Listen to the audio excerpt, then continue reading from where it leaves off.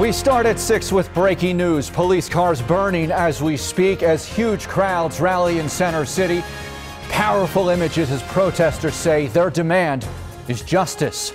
Within the hour, Chopper 3 capturing violent clashes between those protesters and Philadelphia City Police. And in Center City, the statue of former mayor of Philadelphia, the late Frank Rizzo, is burned by protesters. A rope is tied around him as people tried to yank that statue down.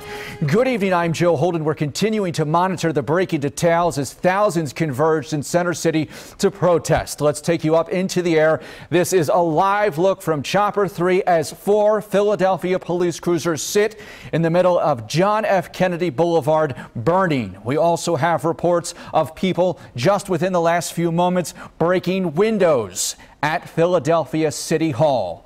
A much different picture just before these protests where people were socially distanced and calm.